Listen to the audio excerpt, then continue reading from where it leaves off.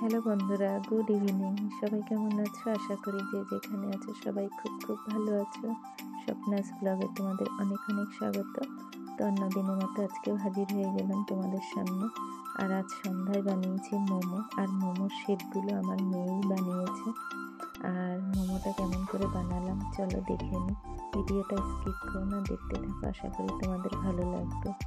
আর এদিকে মোমো বানানোর জন্য পেঁয়াজ একটা অর্ধেক পাতি লেবু নিয়েছি, টমেটো, আর হলো মটরশুঁটি নিয়েছি, আর এদিকে মাংসটা কুচি কুচি করে কিমার মতো করে কেটে নিয়েছি, আর ধনে পাতা কুচিয়ে নিয়েছি, আর কড়াইটাকে ভালো করে গরম করে তার মধ্যে সর্ষের তেল দিয়ে পেঁয়াজটাও ছেড়ে দিলাম। আর এদিকে মিক্সিতে আদা রসুনও পেস্ট করে নিয়েছি, তো পেঁয়াজগুলোকে ভালো করে লাল লাল করে ভেজে নেব।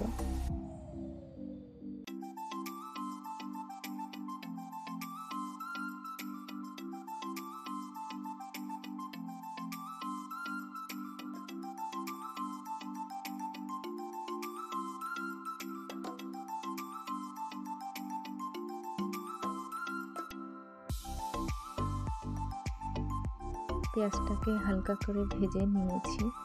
খুব একটা লাল করিনি, আর এর মধ্যে দিয়ে দিলাম টমেটো আর মটরশুঁটিগুলোও দিয়ে দিলাম। তো এইগুলোকে একটু ভালো করে নেড়ে চেড়ে মানে ভেজে নেব।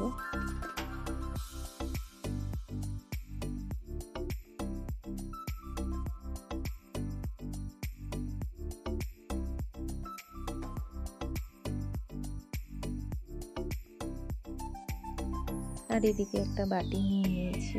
এর মধ্যে ময়দা নিয়ে নেব, পরিমাণ মতো। যতটা মোমো বানাবো ততটা নিলাম। আর লবণ আর একটু সাদা তেল দিয়ে এটাকে ভালো করে মেখে নেব।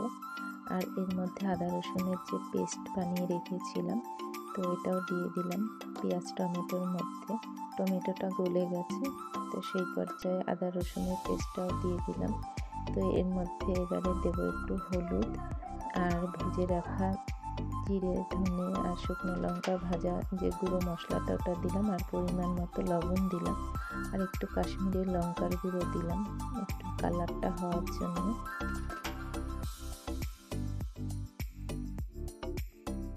তো ভালো করে মশলাটা কষিয়ে নিয়েছি। এবারে দেখো মাংসটা যে ছোট ছোট করে কিমার মতো করে কেটে নিয়েছি, সেই মাংসটা দিয়ে দিলাম। এটার মধ্যে কিন্তু আমি কোনো রকম জল দেবো না। এটাকে এরকম নেড়ে ছেড়ে ঢাকা দিয়ে দিয়ে রান্না করব। তো ঢাকা দিলে এমনিতে একটু জল উঠে যাবে। আর এর মধ্যে আর এক্সট্রা করে কোনো জল দেবো না।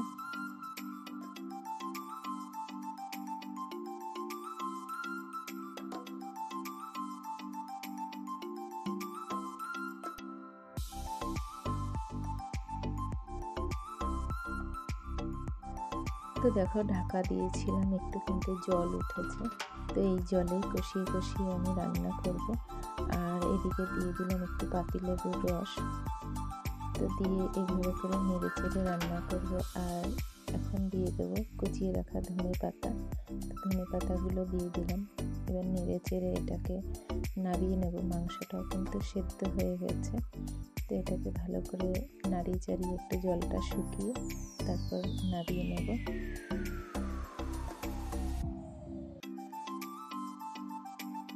তো দেখো আমার মাংসটা হয়ে গেছে, তো এটা পুর হিসাবে দেব মোমোর মধ্যে।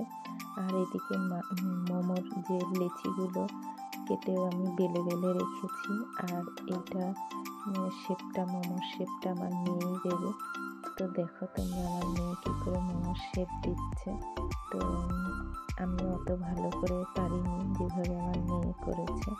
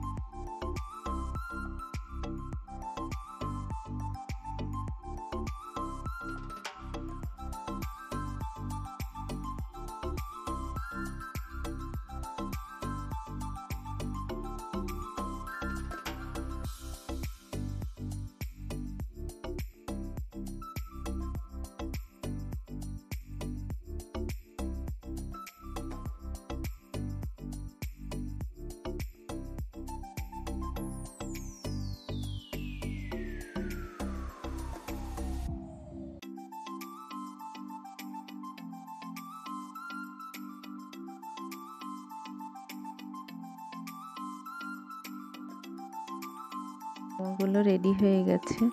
আর আমিও বানিয়েছি কিছু, কিন্তু আমারটা অতটা ভালো হয়নি। মেয়ে যেগুলো করেছে ওগুলোই বেশি ভালো হয়েছে। তো এগুলো, মোমোগুলো এবার স্টিমে বসাবো। তার জন্য দেখো, যে পাত্রটা রাখব সেটা একটু তেল ব্রাশ করে নিলাম। এবার মোমোগুলোকে সাজিয়ে দিচ্ছি। তো সাজিয়ে দিয়ে মোমোর উপর দিয়েও একটু তেল ব্রাশ করে দিচ্ছি। আর এগুলোকে এবার একটু স্টিমে দেব। ঢাকা দিয়ে দিয়েছিলাম। আর দেখো নিচের পিঠটা হয়ে গেছে মোমোর। এবার একটু আমি ঘুরিয়ে ঘুরিয়ে দিলাম, ওপর পিঠটা নিচের দিকে দিয়ে দিলাম। তো আজকে মোমোর রেসিপিটা কেমন লাগল তোমাদের অবশ্যই কমেন্টের মাধ্যমে জানিও। ভালো লাগলে একটা লাইক করে দিও। আর যারা নতুন বন্ধুরা আসবে, চ্যানেলটা সাবস্ক্রাইব করে পাশে থাকা বেল বাটনটা অল করে রেখো, যাতে আমার নিত্য নতুন ভিডিওর নোটিফিকেশানগুলো সবার ফার্স্টে তোমাদের কাছে পৌঁছে যায়। তো দেখা হচ্ছে একটা নেক্সট ব্লগে সবাই ভালো